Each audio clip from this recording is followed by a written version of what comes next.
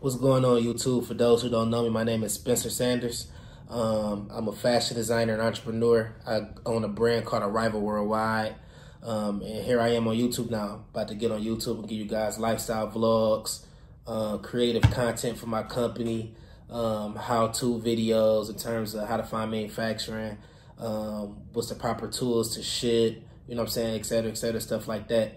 And on top of that, um, I'm currently in the process of opening up a store. So I'm gonna vlog that whole process, show y'all how to open up a store from scratch. Um, store is completely gutted. So, you know what I'm saying? We're gonna build that up, uh, launch, you know what I'm saying? Then, then life of a store owner, business entrepreneur. Let's get right into it. So a little background about me. Um, I was born and raised in Detroit, Michigan, primarily Highland Park, Michigan. It's a small city in Detroit.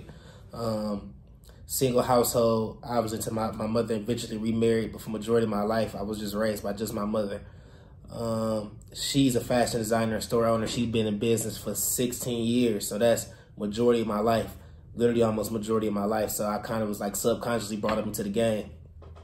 Um, everything I know in clothing was either taught by her or was self-taught. You know what I'm saying? She do women fashion and women fashion and she owns a women's clothing store. So it's not much she can really show me in terms of like men's clothing and how to push and what to do and what's right and what's not. And on top of that, she's older, so she don't know anything about the new technology and how to market a new age. She know how to market an old age, so it wasn't really much she could really show me besides like guide me in, you know what I'm saying, in certain directions where she could. So I created the brand. The name Arrival really means whatever you want to do in life, you'll eventually arrive to it. So it was like I always been an underdog my whole life. Like everything I did, I was always underdog. Um, I played basketball all four years in high school, but I was like so small back then, so I was like going through a lot of adversity. Like if I'm gonna make the team, if I'm gonna not make the team, they're trying to get into colleges. I wasn't getting no scholarships, and it just. But I had great grades though, so it was just a bunch of shit like that that I was just dealing with. So the brand was, um, you know, the brand arrival basically means like whatever you want to do in life for hard work and dedication, you arrive to it. So the brand got darker over the years. I don't mean darker as in like the demonic or anything like that, but my designs at one point was like more motivational. Now I try to I switched it and was started making clothes that's like clothes that people will wear to like the club or people you know what I'm saying feel free to like buy on their own instead of like I'm about to buy to support. That was my whole thing. I wanted people to buy my clothes so they can actually wear it. Like, oh, I want to buy this so I can wear it. You know what I'm saying? So I switched the designs. But before then, um, I was doing a little inspirational stuff, like the brand quote was "humble, smart, fly," because that's what my mother used to always call me. So I kind of did that, ran with that a little bit, um, and then as I got older, the brand grew with me for real. So it was really like a the brand is really like a journal of my life for real. So fresh out of high school, I went to a PWI called John Carroll University. When I was there, um, I played basketball on the team, whatever. Um, but it was literally majority white so I was like, I felt kind of out of place, but I was used to it because my high school was the same way. But I still felt out of place. So I really didn't like, okay, I need to figure something else out. This maybe maybe this is not for me. Maybe this is for me. But I was just like, you know, I'm saying, going through the motions of a young adult, trying to figure out what I want to do with your life. So I left there, and I went to a community college for a semester. And I went to Howard University because I said, okay, if I don't like a PWI, then I gotta like an HBCU. And I went to the HBCU and it was just way too fast for me. Like I was I got popular really fast. Like I met a bunch of like the top people that went there and you know what I'm saying, I was in the party scene on my homeboys through parties and you know what I'm saying, I was in that scene. So it was like I fit in really well, like I meshed really well, but like eternally I felt like I didn't belong there. So I um um eternally I felt like I didn't belong there. But I was just gonna stick it through because like I put my mother through taking me from that one school and putting me in another school. So I kind of just like, you know what I'm saying? Really just went through it. Just went through with it and was just doing it. But then something happened with my financial aid to where my mother was going to have to pay a, like a crazy amount of money. So I just used that as like, okay, I don't want you to do that. And, you know what I'm saying? You struggling to put me through school. So I was like, oh, I'll come home and I'll figure something out. So she like, okay, bet. So what's your plan? So at the time, I was like, I was just making merch. So like, I, I made like Howard Homecoming merch, and I made like um um little merch for Howard. So I was just there hustling. Like I printed a bunch of shirts, and I was just there hustling at Howard, getting tees out, getting a bunch of product and stuff like that out, just so I could just make some money and just you know I'm saying keep rolling. But it was a hustle then. So I'm like, um, I feel like I could do this clothes stuff for real, ma. And she like, um, I don't know, you know, parents doubt. She wanted me to go be a doctor and go get a degree and be a doctor or a lawyer or something like that. Like, especially in the creative business. So, cause she grew up in it, so she know what it's like. She know the ups and downs of the business. So she like, um, you know I'm saying? Just keeping it real. Like if you get into the clothing business, your income is based on other people's income. And I don't know if you really gonna enjoy that. Like it's an up and down struggle. It's a struggle to like just, you know what I'm saying? It's a struggle to just, um, you know what I'm saying? It's a struggle to like live and maintain and live a good, um, like a good financially stable life. So I'm like, but that's all I knew at the time. Like this is my last chance. Like I'm, I'm at that stage now where I was at that stage then where it's like, if I don't do this, then shit, you know what I'm saying? I had to go down a, a, dark route, like a different route. So I thank God every day that I'm able to, you know what I'm saying, live like this. Like I'm able to live in a high rise in downtown LA and I'm able to inspire people and I'm able to, you know what I'm saying, help my family when they need. And you know what I'm saying? Just a bunch of different stuff I'm just blessed to be able to do because my life could have went south. Like it could have went all the way bad. Like I'm I literally like, you know what I'm saying? I know people who you know I'm saying I know people that that went down the dark path, and I was like right behind them almost. But I just thank God that I was able to, you know, what I'm saying, just stay stay solid minded and just find my way through the whole situation. So then, um, yeah, so I left there, and then it was a brand called Gotti at the time, and my homeboy owned the company. Well, he didn't own the company, but he was like a representative of the company. It was like a bigger company. So he's like, yeah, we can get you on a design contract. So I'm like, okay, cool. Like they design shoes, jeans, like like everything, shoes, jeans, t-shirts, hoodies, jackets. Like they did everything. So they had put me on like a little design contract to like do a collection or so.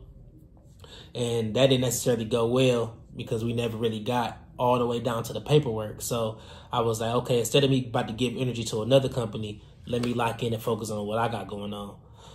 So then that's when I started taking my brand a little bit serious. I'm like, okay, I dropped out of school. I'm not trying to get a regular job. Like, this got to be it. Like, I, you know what I'm saying? I always felt like I was that one. And I always felt like I was able and possible to, you know what I'm saying, make dreams shake and really do what I'm supposed to do. So I did it. Um, uh, picked up the brand, Arrival. I had already created it, but it was like just stagnant. I wasn't really doing much with it. So I picked the brand up and then I was just growing, growing, growing. But then I was living in Detroit at the time. So at the time, Detroit was like at the time Detroit wasn't what it is like right now. Like even with the rap with the raps with the rap game, like back then Detroit rap was looked down upon. Like I remember back in the day when I was like running around with like Kane and a bunch of different other like rappers that was big at the time and big now still to this day. It was like people would look down upon that type of rap. It was too dark and too like real at the time. You know what I'm saying? And that was the same as the creative scene. Like the creative scene was like it wasn't like today where people in Detroit was like supporting people from Detroit. It was like they only were designer and only supported like bigger artists and stuff like that. So I'm like, I gotta, I gotta, I gotta pop. I gotta figure something out. So I moved to Atlanta. I just up. I told my mama I want to move to Atlanta. So I had text my group chat. I'm, moving to Atlanta. Like if anybody want to you know what I'm saying, get out and explore the world, let me know y'all can come with me or whatever. Boom. So my homeboy Aaron, still one of my closest friends to this day, him come and Drew Reed, same thing. Um, we just up and moved to Atlanta. We planned it like a month. We found a little apartment in Smyrna, and we just up. Um, my my mom, my stepdad, they drove a car. I rode with Drew Reeves, and then Aaron and his parents drove. So we went back to back to back, got down there. Boom. So we get there. Uh, we check in, we pay our deposit, boom. At the time, back then, our rent was only fourteen hundred, and we was struggling with that. I'll never forget it. My rent was six hundred because we broke it up by rooms. Reed's room was five hundred, and Aaron paid the difference. So we literally struggled with that. Um, yeah, so when we got down there, all we had was four stools. We had four stools, and then we had four stools. So then we um our parents left whatever. They got us little groceries, little frozen foods and stuff like that. So we thugging it all on the ground at first. And then we got fed up, boom, when it got blower mattresses. Now we on blower mattresses about a month. And I'm getting tired of blower mattresses because I'm trying to have women come over. I'm trying to have some women fly in. You know what I'm saying? I'm trying to, it's my first time on my own for real. So I'm really trying to, you know what I'm saying? I'm trying to get to it. So I go buy me a mattress for 250 It was on sale. Aaron eventually go buy him one. Drew Reeves, he's just still thugged it on the couch. I mean, on the couch, on the blow up. Boom. So then I'm like, okay, I got me a little mattress, but that's all I had at the time. I had that, and I had the same laptop. So I would just watch Netflix on my on my computer, and I would just lay on just my mattress. I had no bed frame, no headboard, no uh, bed spring. Literally just one mattress. I had literally just one mattress. So then um, we was like, okay, if we are college dropouts, we need to find a way to still grow and develop as like men, as um, entrepreneurs, as creatives. So we created a schedule. Like we was, you know I'm saying, studying. We was working out twice a day. Like we was really getting to it. Drew Reeves, he was doing Ubering. Um, I was too lazy to Uber at the time, but I was just so focused on getting my brand off the ground that I didn't focus on literally nothing else. Like nothing else. Uh, my homeboy Aaron, he was focused on music. He was recording three times a week. We would go with him because Jurice was good with the camera. So we would go, you know what I'm saying, record him in there. And then he was like working little jobs on the side too. So we was all in our we was all in our bag, like hustling respectfully. Like we was we was really getting to it, but we was like no furniture, like no furniture. We had one TV in the house. It was Aaron TV. And he put it in the living room so we could all watch Netflix, like occasionally. So yeah, we was locked in there. And at, I tell people all the time, Atlanta was the years that changed my life. Like Atlanta was really the years that changed my life. That's when I really started seeing money, like out of nowhere too. It was out of nowhere. Before I was making a little petty, I told we was struggling to pay fourteen hundred dollar rent. Like we was struggling to pay fourteen hundred dollar rent. And I be looking back now, like for that to only be three years ago, that's crazy. Like struggling to pay fourteen hundred dollar rent. Yeah, so so then we um what did I do? What did we do? What did we do? So my boy Drew Reeves, he was a brainiac, so he got me into like studying. I never read a book ever because I always everything my book reading friends tell me, I always I'm always able to like literally like hold a full conversation about everything they read. Like I'm just I naturally would be in tune with the universe and naturally in tune with like how to live and how to manifest and you know I'm saying a bunch of different stuff in that type of topics which we get into. Like that's something I want to talk about heavy too in my YouTube videos. But um yeah me and Drew Reeves we was like okay let's learn how to manifest. Yeah so me and Reeves like we was studying like how to really manifest. And I had learned how to like really manifest. So I put it to the try like we were studying for like four five days, like really studying and really like researching and getting into depth, like with the whole conversation of manifestation and how to get what you want and how to bring your ideas to life. So I remember one night I had a heat press. Back then I was hand making all my stuff, like really hand making all my stuff. So the fir- the first time I ever manifested was um Lil Gotit. He had dropped a song called um, Hood Babies. It was that Hood Baby song. So Reeves was playing the song, and I'm like, damn, it's time for me to really start tapping in with these Atlanta artists and really, you know what I'm saying, really get in tune and get them into my clothes and everything like that. So I said it. I told them, I said, by tomorrow, I will have Little Gotit in my clothes. Exactly what I told them, word for word. I said, by tomorrow, we was t- we had this conversation at midnight. I said, by tomorrow, I will have Little Gotit in my clothes. So I went to sleep. Boom. I woke up and I magically had a DM from Lil Gotit. Literally, true story. I didn't D- I didn't DM him. I didn't have nobody plug no pieces. Like out of nowhere, he just DM me like, uh, "Yo, shit, fire, need drip. Let's tap in." Like literally, just like that. So I showed Reeves. We was like, "What the?"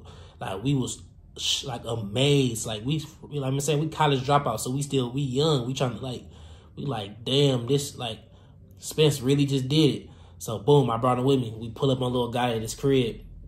He was cool. Boom, you know what I'm saying? Chopped it up, exchanged, took some pictures, gave him some clothes.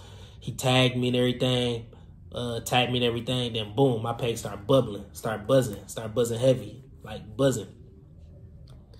Then um, yeah, of course Lil Keed came after that, boom. And then I eventually got Young Thug and eventually Gunna all of my clothes. But it was like everything was just so random I'll talk about each story individually in like different videos and stuff like that. But so then after that, I'm like, okay, uh, I manifested that. Now let me manifest some money. So um, at the time, I had an Inferno hoodie. I'll show y'all that, and I'll show y'all um, like all the old pictures and stuff. I'll plug them into the YouTube video so y'all can see. Probably right at this moment, I'll show them.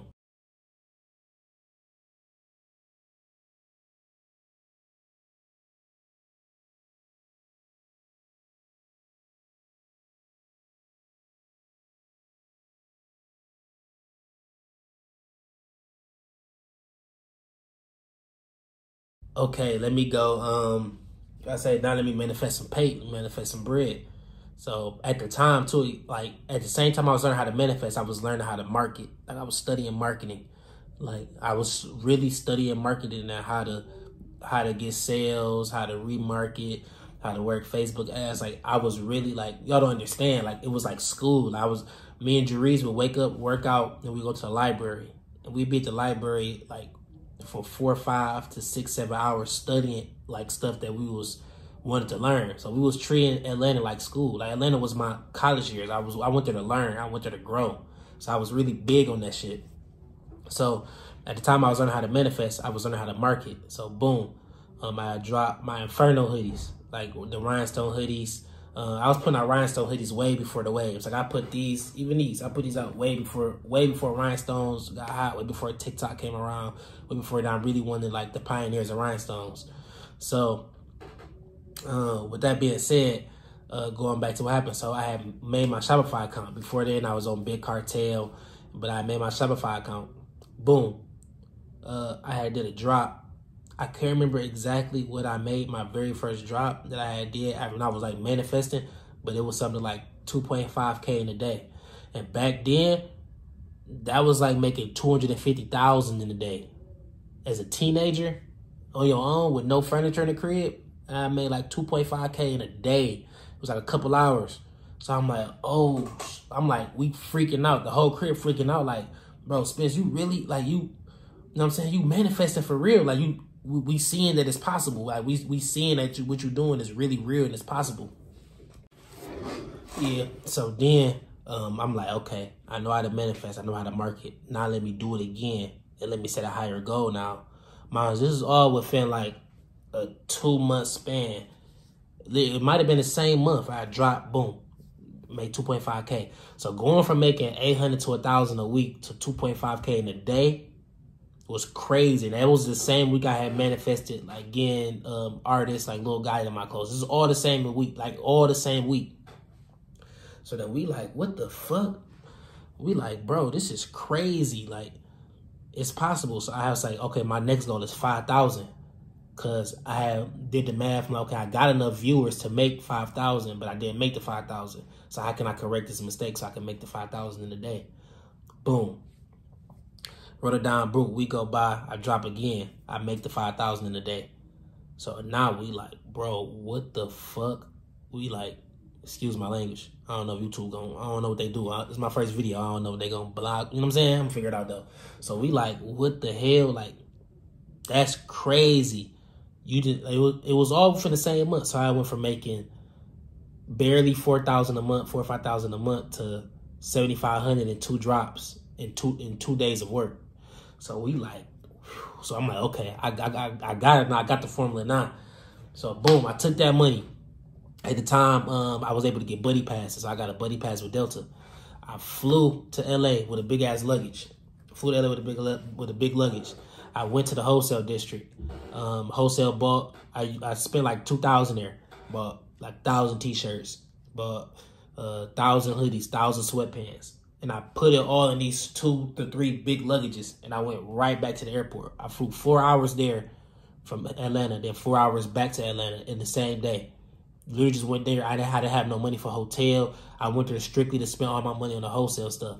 And I was I was hand pressing stuff then, so I was just ordering my like my prison stuff online. Ordered a thousand prints. Boom, got it sent to me. Boom. Um, I was making jeans at the time too, like special tie dye jeans, rhinestone jeans. I ordered the, the wholesale jeans to me. Boom, everything coming. So I put together another big drop. Boom, made another five thousand. With like maybe like six or seven more days after that, I had dropped jeans after that. Boom, made another five thousand. So now I went from making three thousand a month to twelve thousand a month, and I'm hand pressing everything on my own. So I was working like sweatshop. We had no furniture still, so now I just sweatshop. Boom pressing shit out. Boom. Uh, packing orders, packing orders. I got videos of Justice. She be in town, literally helping me hand press jeans, and we package them up, sending them out. I'm taking packages to the post office every day. I'm like, okay, now I got the formula. Now I had the formula then. So then I'm rolling. That's when I call my momentum. Start Start pulling stuff out. Boom. My pape start coming in. Boom. Never finished the room. We never got no furniture. We never did none of that. But I'm just like eating up the momentum that I'm having. Like I'm making. That's my first time making money. Like it was. It was surreal. Like it was a crazy feeling. Start making money. Boom. So I'm um, obviously I'm hustling. I'm working every day, pressing stuff up, putting putting new shit together. Um, you know what I'm saying? Just everyday everyday grind like. But I'm now I'm making money because I know how to manifest. And on top of that, I'm great at marketing. So I'm putting them two pieces together and I'm just working hard to at the same time. Change trying to change my life, trying to change my situation. Boom. So I did that. Um, started making paper. I post some videos of me shipping hundreds of packages out out of out of our living room with no furniture. I got pictures of that on my Instagram that I got archived. I'm gonna pull up, show y'all. Boom. So, you know what I'm saying? I'm going crazy. I'm feeling myself. I fly to the crib, fly back to Detroit um, I, I come back with a chain. I bought my first chain. It was small at the time. It was like this big, but I bought my chain. It was Arrival chain. Boom. Bought me a chain. So yeah, boy, I come back with chain. So now, I'm, you know I'm saying? I'm feeling myself. I buy, mind you, I buy a chain. I don't have no TV. I don't got no bed set, just a mattress. And I had a car. I drove my car down there. So I got my car, boom. Fly to Detroit, come back with a chain. Real chain. It was a real real ice chain. It was small though. I spent ten thousand on it. I remember clearly. I spent ten thousand on it. Boom. I got. I'll put the pictures and show that too. Bought the chain. Boom. I um. What I do? What I do? What I do? What I do? What I do? Oh yes, yeah, so I'm hustling still, still hustling. Boom. I find me a little girlfriend because now I can step out a little bit. So I'm stepping out, hanging out, partying. Boom this New Year's, I met a girl around New Year's time. Boom, kicking it with her real heavy. She fashionable too, so she really helping me. Like, like we kicking it. Like we we spend a hell of time with each other, but she's really like helping me, like in a creative field, like with connections, all types of shit. She probably don't even know she helped me like that much, but she did. I wasn't using her or nothing, but she was like helping the nigga though. Real talk. So boom, I um I'm still elevating, still elevating, still elevating, uh, growing, growing, growing still we got no furniture. We had no furniture the entire lease. Then um it came a time where it felt like I did everything I could in Atlanta. Like I was at this point I was growing. Like I was becoming smart. I was becoming, you know what I'm saying? I was becoming more money hungry. I was becoming more, you know what I'm saying? More I was manifesting more. Like I wanted to see more, I wanted to do more. So I feel like Atlanta only had a certain type of scene. I feel like Atlanta only had a trap scene. I wanted to go bigger than that. I wanted to see more, I wanted to do more.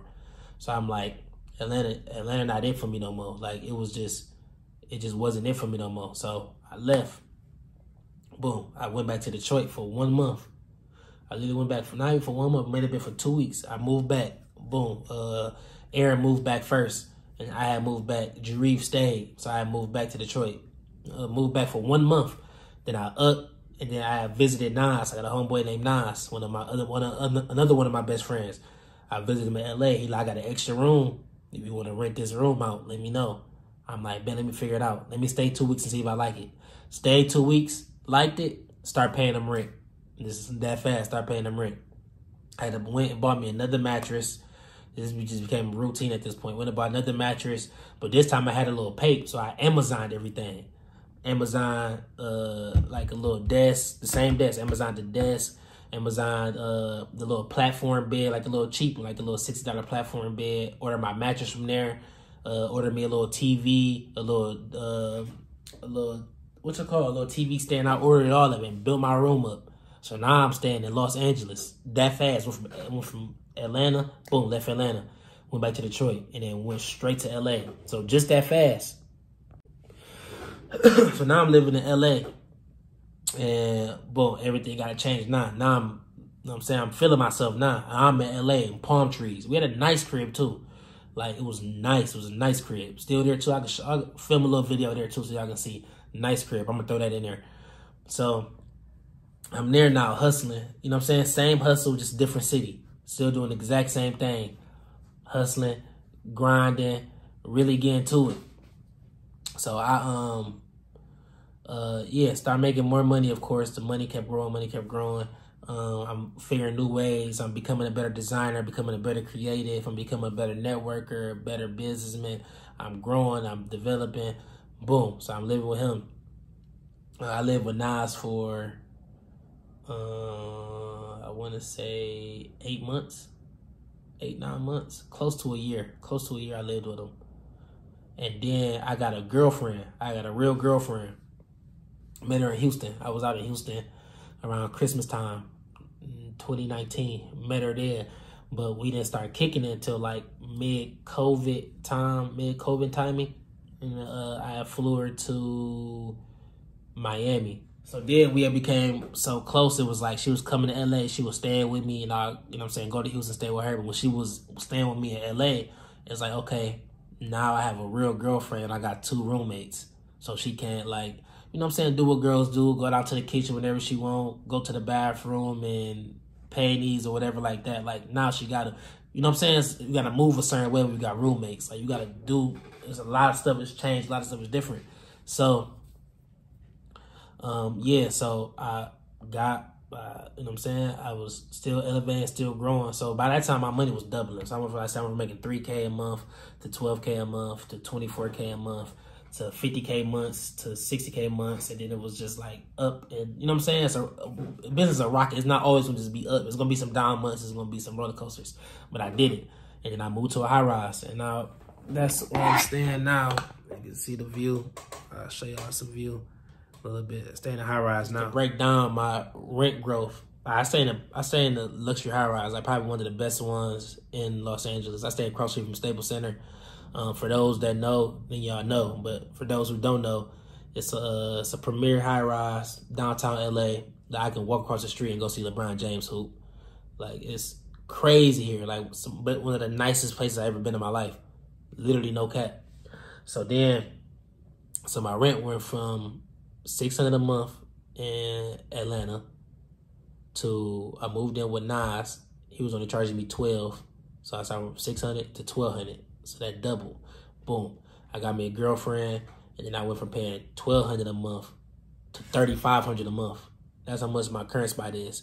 Thirty five. Then it go, it went up, of course, because I added a bunch of stuff I had to add and bills. So I was paying forty five hundred a month, and I had an office space.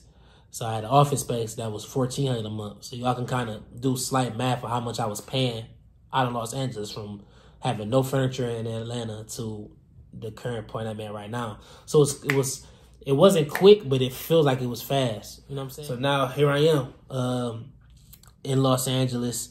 Uh, I'm not a fan of Los Angeles no more. I'm definitely moving. Um, um, my girlfriend has an apartment in Houston, so I'm normally there most of the times. But I've been looking at apartments and high rises and condos in Detroit, Michigan, because I'm moving back to Detroit and I'm opening a store. Just got approved and accepted for my first store, so um, that's exciting.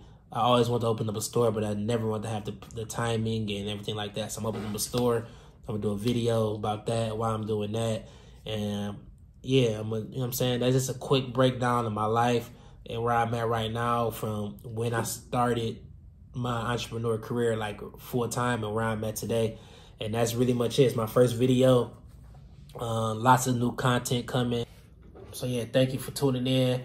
Uh, this is the first first of many. Um, road to 10k subscribers first. We're gonna grow from there. I'm a beast in Call of Duty too, so be on the lookout for my Twitch a um, bunch of how-to videos. I'm gonna show y'all. I'm gonna show y'all everything that I learned over the time. I'm gonna give y'all lifestyle content. I'm gonna show y'all a little bit more of the LA luxury life. I'm gonna show y'all more how I'm how I'm living for real, man. You know what I'm saying? I really been real silent about it. My homeboy Kendall told me it should be documented. It should be shown because you know what I'm saying. It's inspirational. I'm inspired by it, knowing where I came from. So we got a lot of more content on the way. I appreciate y'all.